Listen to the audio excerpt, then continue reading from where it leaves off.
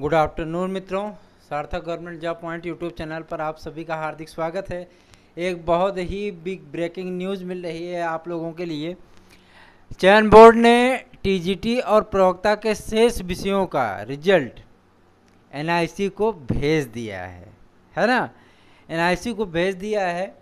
और आज जो आज जो बैठक में चर्चा हुई उस चर्चा की के बिंदुओं पर हम प्रकाश डालने का प्रयत्न करते हैं, जिससे आपको, आपके समस्त सवालों के जवाब मिल जाएँगे। पहला पॉइंट ये है कि टीजीटी का परिणाम जारी करने के बाद वेरिफिकेशन की प्रक्रिया को कैसे अपनाया जाए। दूसरा टीजीटी का परिणाम विवादों में ना आए, जो हाई कोर्ट में केस चल रहा है उसके लपेटे में ना आए, इसका पूरा ख्याल रखा जाए। तीसरा टीजीटी के परिणाम जारी होने के बाद, जैसे मान लीजिए कि अगर वो परिणाम आपका एक या दो अक्टूबर तक जारी कर दिया जाता है तो अगर पहले आ जाता है सुनवाई के तो सबसे बड़ी चीज़ यह है कि सरकार अपने काउंटर का, चयन बोर्ड अपने काउंटर का बचाव कैसे करेगी? क्योंकि जो काउंटर में जो मतलब इन्होंने वो किया है, दिया है कि हम, जो किसी भी तरीके के भ्रष्टाचार के मुद्दे को जो है मतलब हम नहीं मानते कि किसी भी प्रकार की अनियमितता हुई है या कोई भी मतलब धांधली हुई है, ये चयन बोर्ड ने मतलब स्पष्ट अपने काउंटर में कहा है। और सबसे बड़ी चीज़ ये है कि जो 650 विद्यार्थियों ने परीक्षा छोड़ दी थी तो उन विद्यार्थियों की परीक्षा कब कराई जाए? अगर परीक्षा होती है तो उनको जो है किस तरीके से रिज़ल्ट में शामिल किया जाएगा? उनका नॉर्मलाइजेशन कैसे होगा? उनको जो है मतलब इन अभ्यर्थियों की फाइट में लाया कैसे जाएगा? असंतुष्ट अभ्यर्थियों को संतुष्ट कैसे किया जाएगा? जो विद्यार्थी पेपर दे चुके हैं, उनको मतलब कैसे सेटिस्फाई किया जाएगा? कि जो मान लीजिए कि अगर पेपर आसान बन गया तो उनकी मेरिट तो टंग जाएगी और जो इधर के विद्यार्थी बेचारे हैं वो मतलब जो है लटक जाएँगे।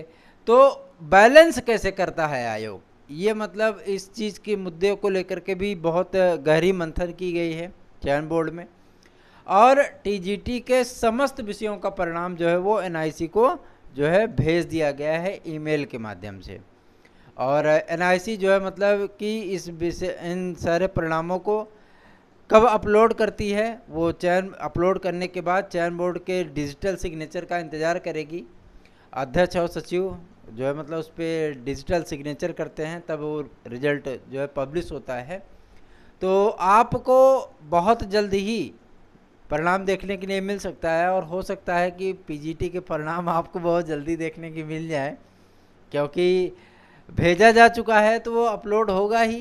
और अपलोड होगा तो आपके सामने पब्लिश होगा ही है ना? और जो सूचना मिल रही है कि इस बार का जो रिज़ल्ट बनने चल रहा है जो बना है रिज़ल्ट वो ऐतिहासिक ऐतिहासिक ऐतिहासिक होने चल रहा है। आपके कुछ विषय कुछ विषय में हम जो है मतलब बात कर लेते हैं और आप ये चीज़ सोच रहे होंगे कि मत, आ, क्या इस चीज़ को कहा जाए? सबसे बड़ा फैक्ट जो निकल के आ रहा है, वो आ रहा है सामाजिक विज्ञान के लिए। और देखा जाए तो सामाजिक विज्ञान विषय ही सर्वाधिक विवादित विषय भी रहा है। इसमें विवाद की स्थितियाँ बहुत ज़्यादा मतलब आती हैं, है ना? तो इस विषय का परिणाम इस बार ऐतिहासिक होने जा रहा है। ऐतिहासिक का मतलब ये है कि 360 300 360 और 380 इसके बीच में जो अभ्यर्थी हैं, उनका चयन।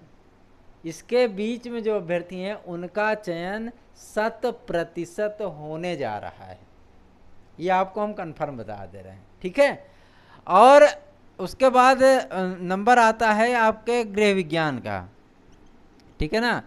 गृह विज्ञान का जो रिज़ल्ट है, ये थोड़ा सा मतलब कि पेपर इसमें फॉल्ट वाले क्वेश्चनों की संख्या थोड़ी सी ज़्यादा है, लेकिन इसका भी परिणाम 390 से लेकर के, ये 405 तक जो है मतलब विद्यार्थी अपने आप को चयनित मान कर बैठ सकते हैं।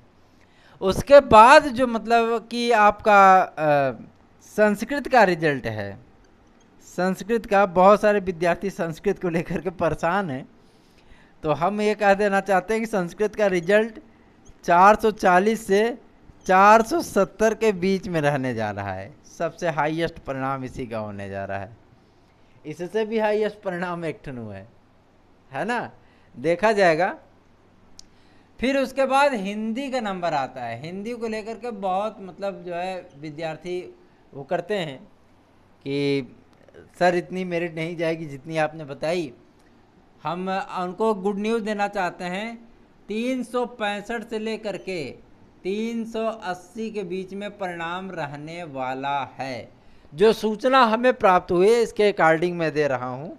और बहुत सारे विद्यार्थियों ने कहा कि आपके घर में जो है वो चयन बोर्ड का आ, मीटिंग होती है। तो भाई हम आपको बताना देना चाहते हैं हम अपने घर में नहीं थे हम अपने कॉलेज के ऑफ़िस में बैठे थे। थोड़ा सा इंटरवल हुआ लंच टाइम हुआ। भोजन लेके जाते नहीं हैं, इसलिए जो है थोड़ी सी सूचना मिली तो हमने कहा आपको अपडेट दे देते हैं। घर और में हमारे मीटिंग वीटिंग नहीं होती है, ना तो हम चयन बोर्ड के डायरेक्टर हैं, है ना? कोई डायरेक्टर वायरेक्टर नहीं है, हम एक सामान्य से अध्यापक हैं भाई। और जो मतलब आपकी तरह ही कंपटिशनर भी हैं हम, है ना? आपकी तरह कंपटीशन दे करके ही हम जो है उसको हासिल किए हैं। तो आप हमें डायरेक्टर वगैरह की उपाधि ना दीजिए, हम डायरेक्टर डायरेक्टर नहीं हैं। और सिर्फ़ एक आम छात्र रहे हैं, एक आम टीचर रहे हैं, एक आम टीचर हैं वर्तमान में और सिर्फ़ और सिर्फ़ अपने कर्तव्यों का निर्वहन कर रहे हैं। चलिए, ये सूचना तो मतलब आपकी हो गई, ठीक है? और सबसे बड़ी चीज़ ये है कि आपको बहुत ही गजब का रिज़ल्ट इस बार मिलने चल रहा है। फ़ायदा ही फ़ायदा है, पाव बारह। जैसे महाभारत में शकुनी नहीं बोलता है, पाव बारह। वैसे इस बार रिजल्टों में जो है मतलब चैन बोर्ड बोला है चाहे पाव बारह पाव बारह लाभ ही लाभ है। आपके चेहरे पे एक प्यारी सी स्माइल ज़रूर आएगी टीजीटी का रिज़ल्ट देखने के बाद और निराशा आपको नहीं होगी, ये मेरा पूरा यकीन है। चलिए आज इस क्रम में टेट और सुपर टेट का हम बैच स्टार्ट करते हैं और बाल मनोविज्ञान टेट, सुपर टेट के लिए प्रश्नोत्तरी इंपॉर्टेंट प्रश्नों की श्रृंखला, धड़ाधड़ प्रश्नोत्तरी लेकर के आ गए हैं। और इसमें जो है मतलब आपको फटाफट प्रश्न बताए जाएँगे, उसके तड़ातड़ उत्तर बताए जाएँगे। तो आप इसको नोट करते हुए चलेंगे और जो मतलब वो होगा, आप इसको देख देख करके प्रश्नों को नोट कर लीजिएगा। बहुत इंपॉर्टेंट प्रश्न है और ऐसे ही प्रश्नों की श्रृंखला हमारे स्टडी मटेरियल में उपलब्ध है, जो कि आपको हर खंड से लगभग 2000 प्रश्न उसमें मिलेंगे। और मैथ का भी एक ट्रिकी जो है मतलब आपको हम देंगे क्लास जिसे आप देख करके मैथ में आपकी रुचि अगर नहीं होगी तो आप मैथ में रुचि आपकी उत्पन्न हो जाएगी। और आप क्वेश्चन को करने के लिए उतावले हो जाओगे कि हम भी कर सकते हैं मैथ का क्वेश्चन ऐसे ट्रिकी मतलब आपको ट्रिक बताएँगे हम आज। चलिए, पहला क्वेश्चन हमारा है कि बुद्धिमापन सॉरी बुद्धिलब्धि का सिद्धांत किसने दिया था? बुद्धिलब्धि का सिद्धांत किसने दिया था? यह मतलब है टर्मन। इसका आंसर होगा टर्मन। टर्मन ने बुद्धि लब्धि का सिद्धांत दिया था। बुद्धिमापन का सिद्धांत किसने दिया था? तो इसका जो है आंसर होगा बिने। सूझ की अंतर अंतर्दृष्टि का सिद्धांत किसने दिया था? सूझबूझ की अंतर्दृष्टि का सिद्धांत किसने दिया था? इसका राइट आंसर होगा कोहलर। प्रयोग इन्होंने किस पे किया था? मतलब कभी कभी पूछ लेता है आपसे कि कोहलर ने अंतर जो सूझबूझ की अंतर्दृष्टि का सिद्धांत दिया था, उन्होंने किस पे प्रयोग किया था? तो ये इन्होंने बनमानुस पे प्रयोग किया था, ठीक है ना? केला वाला बनमानुस है ना? और अगला देखते हैं, मनोविश्लेषणात्मक सिद्धांत किसने दिया था? सिगमन फ्रायड ने, आंसर है इसका। संज्ञानात्मक विकास के प्रतिपादक कौन है? जीन पियाजे, बहुत बार पूछता है ऐसे क्वेश्चन। और आपको T G T sorry TET और जो है मतलब कि आपको सुपर टेट, इन दोनों के लिए बेहद महत्वपूर्ण है। तो जीन पियाजे इसका आंसर है संगनात्मक विकास के प्रतिपादक। प्रश्नावली विधि के जनक हैं वुडवर्थ। आपको ये भी प्रश्न काफ़ी बार मतलब देखने के लिए मिला है। तो आप इसको नोट डाउन करते चलिएगा। ये आपके लिए बेहद महत्वपूर्ण है। बेहद महत्वपूर्ण है। फटाफट प्रश्नोत्तरी। आप बाल मनोविज्ञान का प्रश्नोत्तरी देख रहे हैं। है ना? और इसको आप फटाफट देखते चलिए। अनुबंधन का सिद्धांत किसने दिया था? पावलाव ने दिया था अनुबंधन का सिद्धांत। शिक्षण खोज विधि शिक्षण खोज विधि आर्मस्ट्रांग ने डाल्टन योजना विधि हेलन ने खेल विधि हेनरी कुक ने अनुमानसिकता का सिद्धांत ग्रे, ग्रेगर जार मेंडल है ना? प्रबलन का सिद्धांत हल ने किंडर गार्डन सिद्धांत फ्रोबेल ने प्रथम मनोवैज्ञानिक लैब किसने बनवाया था? विलियम वुंट ने वुंट ने वुंट ने है ना, विलियम वुंट। चिन्ह अधिगम का सिद्धांत किसने दिया था? टालमन ने। प्रोजेक्ट प्रणाली किसने बना किसने दिया था? प्रोजेक्ट प्रणाली का सिद्धांत किसने दिया था? पैट्रिक, किल पैट्रिक ने। परंपरागत सभ्यता का सिद्धांत किसने दिया था? पावलाव ने। मूल प्रवृत्तियाँ संपूर्ण मानव व्यवहार की चालक हैं। यह कथन किसका है? क्वेश्चन देखिएगा। मूल प्रवृत्तियाँ संपूर्ण मानव व्यवहार की चालक हैं। यह कथन किसका है? तो आंसर होगा इसका मैकडूगल। संकेत अधिगम को किस रूप में जाना जाता है? संकेत अधिगम को किस रूप में जाना जाता है? परंपरागत सम्यता का अधिगम सिद्धांत इस रूप में जाना जाता है और जो गेने इसके प्रतिपादक हैं। ठीक है ना? किसी पहलू में मानसिक स्वास्थ्य की विधियाँ बताई जाती हैं। स्वास्थ्य की मानसिक स्वास्थ्य की विधियाँ मानसिक स्वास्थ्य की विधियाँ बताई जाती हैं संरचनात्मक पहलू में। ये मतलब आपका बहुत ही महत्वपूर्ण क्वेश्चन होने जा रहा है टेट और सुपर टेट के लिए। ठीक है? तो आप इसको मतलब कि नोट कर लीजिए डाउनलोड अपने नोटबुक में। ठीक है? चलिए, धड़ाधड़ प्रश्नोत्तरी, फटाफट देखते हैं। और इसको मतलब देखिएगा, व्यक्ति के स्वाभाविक विकास को क्या कहा जाता है? व्यक्ति के स्वाभाविक विकास को क्या कहा जाता है? अभिवृद्धि कहा जाता है। नोट डाउन कर लीजिएगा, विकास का अधिगम, विकास का अभिप्राय क्या है? विकास का क्या अभिप्राय होता है? आंसर है इसका। जिस प्रक्रिया में बालक परिपक्वता की ओर जाता है, उसे विकास कहते हैं, है ना? अगला क्वेश्चन देखिए। अगला क्वेश्चन देखिए, रास के अनुसार विकास क्रम में विश्ले किशोरावस्था का काल क्या माना गया है? रास ने किशोरावस्था का काल क्या माना है? तो 12 से 18 वर्ष की आयु, ये बहुत बार रिपीटेड क्वेश्चन होता है, टी टेट और सुपर टेट में। बहुत महत्वपूर्ण क्वेश्चन है। वातावरण में वातावरण में सब सब वायु तत्व आ जाते हैं, जिन्होंने व्यक्ति को विकास के आरंभ से ले आरंभ करने के समय में प्रभावित किया है। यह कथन किसका है? यह परिभाषा किसने दी है? तो ये वुडवर्थ ने दी है। ये परिभाषा आप नोट डाउन कर लीजिएगा। परिभाषाओं से और सिद्धांतों से बहुत प्रश्न बनते हैं। विकास के परिणाम स्वरूप व्यक्ति के नवीन विशेषताओं को न, नवीन नियोगिता प्रकट होती है। यह कथन किसका है? यह कथन हारलाक का है। प्रश्न जो है, परिभाषा है, आप नोट डाउन कर लीजिएगा। ठीक है? शैक्षिक दृष्टि से बालक के विकास की अवस्था क्या है? शैक्षिक दृष्टि से बालक कब मतलब जो है, विकास करता है। तो इसमें आता है शैशवावस्था, बाल्यावस्था और किशोरावस्था। ये तीनों अवस्थाएँ जो है, वो शैक्षिक विकास की दृष्टि से महत्वपूर्ण होती हैं। है ना? तो ये मतलब जो है, आपके लिए प्रश्न बहुत ही महत्वपूर्ण है।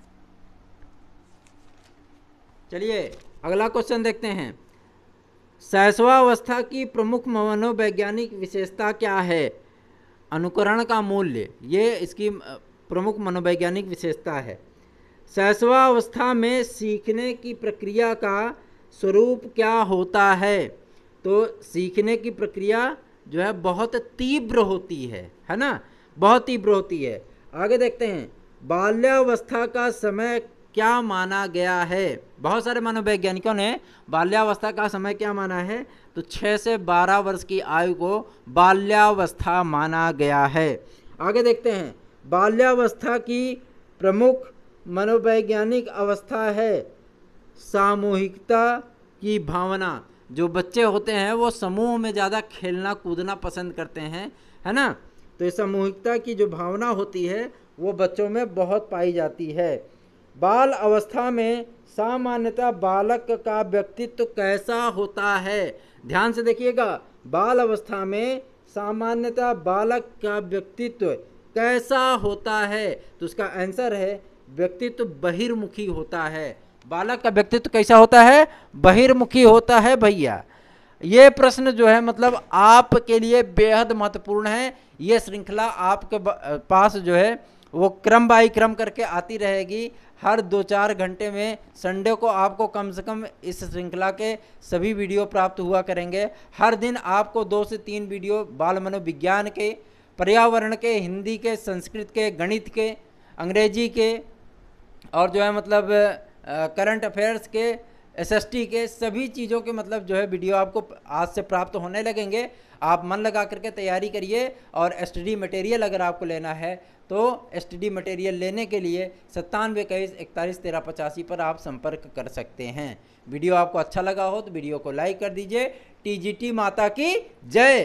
टीजीटी माता की जय। आपको टीजीटी में बहुत अच्छे परिणाम देखने के लिए मिलेंगे। निश्चिंत रहिए, बेफिक्र रहिए, मस्त रहिए, खुश रहिए। ठीक है ना? और चैनल पर नया है तो चैनल को सब्सक्राइब कर लीजिए, वीडियो को लाइक कर दीजिए और आपकी इच्छा हो तो चैनलवा को थोड़ा सा सब्सक्राइब करवा दीजिए करिए और जो है वीडियो को लाइक कर दिया करिए और शेयर कर दिया करिए। धन्यवाद, आप सभी का दिन शुभ हो।